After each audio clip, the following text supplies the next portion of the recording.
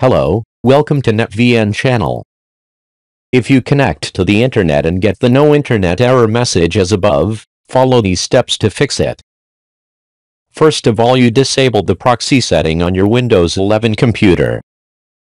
You open the control panel and select Internet Options. Next you click LAN Settings. Here you disable the proxy setting for your Windows 11 computer. If you don't get this error, Go to the next step. Your Windows 11 computer does not have an internet connection, it may be because it is set up with an incorrect static IP address. The easiest way is to set up a dynamic IP address for your computer. Your Windows 11 computer will be assigned a new IP address from the router. It is also possible that the error of no internet connection is because you are using the version 6 IP address, so please disable it. You just uncheck IPv6 here and save the changes.